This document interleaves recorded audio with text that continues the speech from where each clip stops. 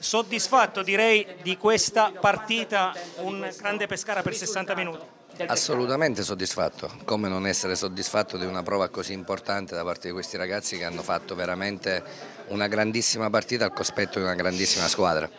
Prima della partita avevo detto al mister che mi giocavo il 3-0 per noi, quindi eh, avevo sbagliato di poco perché potevamo farlo il 3-0 già nel primo tempo, però al di là del, di, delle battute o delle, cose, delle sensazioni personali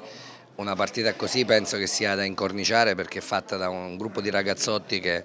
al cospetto di una squadra che è arrivata seconda in campionato, che si giocherà la Champions, facendo veramente i 60 minuti, anche 65 ad altissimi livelli. Simone Pepe è un nuovo giocatore del Pescara, quindi è venuto a Pescara oggi pomeriggio, abbiamo fatto il contratto, domani farà le visite che saranno una formalità e poi si aggregherà alla squadra.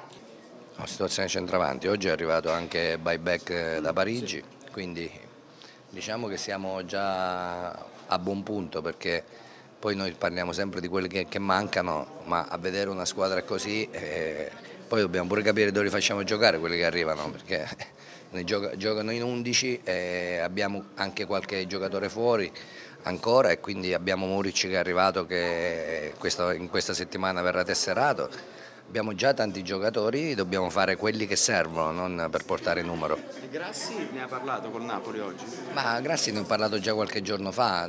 su Grassi ci sono tante attenzioni di squadre anche più importanti del Pescara, il giocatore poi deciderà dove andare. Vedete, lo spot di questa sera serve anche a questo, no? una partita così come questa, se oggi avessimo fatto una partita prendendo 5 gol dal Napoli probabilmente anche i giocatori che devono venire a Pescara ci pensano quattro volte. Invece vedere una squadra così che gioca molto bene, che ha giocato a,